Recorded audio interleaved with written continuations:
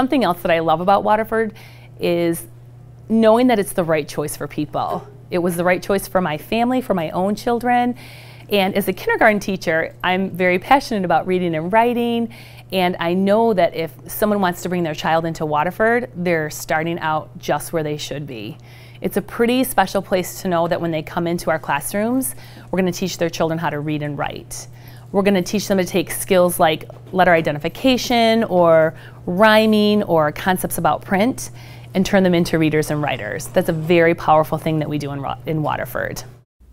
What I love most about Waterford School District are the teachers. The teachers here have the ability to reach out to all levels of learning.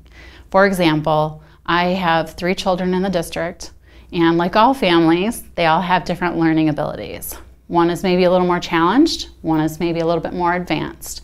And the teachers here have really been able to help both of my kids, all three of them really, at all different levels, the entire spectrum of their learning, from whether they're really struggling in math to whether they're really advanced in their reading. And that's what I love most about Waterford School District. One of the things that I really love about the district is that my daughter's been in it since kindergarten and she's now finishing up her eighth grade year. She has had more opportunities to be a leader than I have had in my whole life.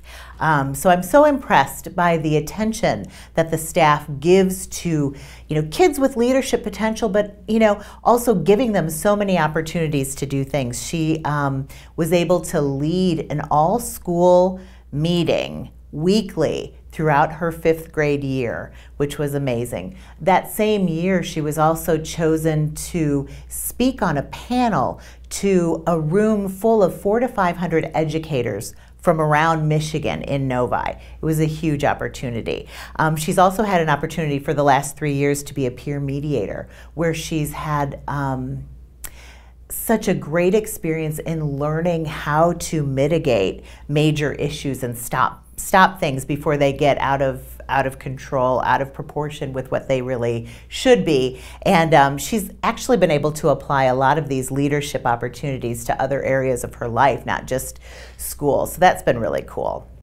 I am a parent in the Waterford School District. I have three kids that go to school here. I'm also an alum of the Waterford School District, so there are many things about our district that I love.